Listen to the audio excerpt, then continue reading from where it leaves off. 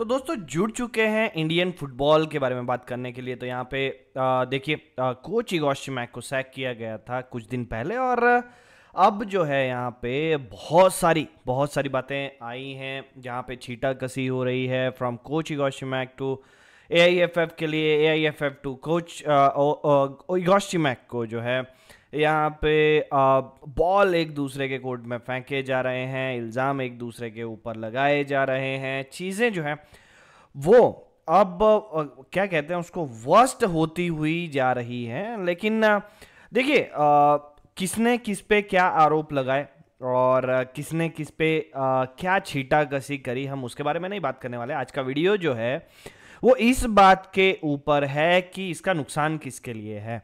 Who is actually suffering from this kind of mess और देखिए, हम बात करते हैं कि हमारा जो फुटबॉल है, वो ग्रो क्यों नहीं करता? हमारा फुटबॉल आगे क्यों नहीं बढ़ पाता? तो this is actually the real reason behind this because यहाँ पे जो है मैनेजमेंट मैनेजमेंट को चीज़ें मैनेज करने में, भाई मतलब यही प्रॉब्लम आ रहा है कि वो अपना कोच तक मैनेज नहीं कर पा रहे हैं।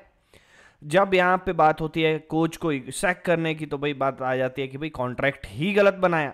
कॉन्ट्रैक्ट गलत बनाया तो यहाँ पे कोच ही मैक का कहना है कि भाई, हमने ये किया, वो किया, हमने ये डिमांड करे, पूरे नहीं हुए। तो यहाँ पे मिसमैनेजमेंट जो हुआ है, और ये कौन कर रहा है?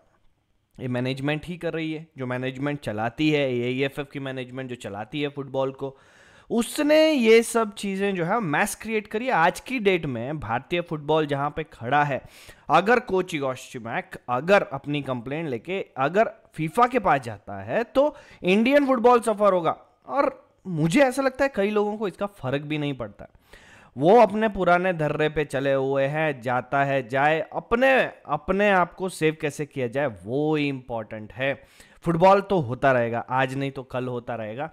तो यहाँ पे भारतीय फुटबॉल डिप करा है और उस डिप के पीछे, चलिए, स्किल का इशू हो सकता है। आप जो है यंग जनरेशन को तैयार नहीं कर रहे हैं, लोकल लेवल पे टूर्नामेंट नहीं कर पा रहे हैं, क्योंकि उनके खुद के टूर्नामेंट खत्म नहीं हो रहे, भाई, इंटरनल पॉलिटिक्स खत्म नहीं हो रही, आरोप प्रत्यारोप खत्म नहीं हो रहे, और कोच योशिमाइक जैसे बंदे आते हैं और वो एक्चुअली रियल चेहरा दिखाते हैं। एआईएफएफ को, फुटबॉल मैनेजमेंट को कि भाई ऐसे तो फुटबॉल नहीं चलेगा। तुम पहले खुद को करेक्ट करो, फिर तुम, तब तुम आगे सोच पाओगे फुटबॉल के बारे में। अपनी मर्ज़ी से साइन करे जा रहे हैं कॉन्ट्रैक्ट अपनी मर्ज़ी से कुछ भी चला जा रहा है भाई। और अब जो है आइदर देखिए, मुझे ऐसा लगता है कि कोच गोष्ठ में तो ठीक है सैक होने चाहिए। लेकिन जो मैनेजमेंट के लोगों ने मैस मचा के रखी है ना भाई जो जो लोग सही नहीं है, उनको भी बाहर निकालो। देखिए, कैंसर जो होता है ना भाई एक एक जड़ से उखाड़ेंगे तो ही फ़ायदा है।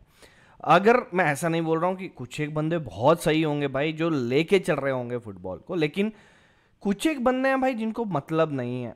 और ये एक्चुअली है real root cause for the degradation of Indian football.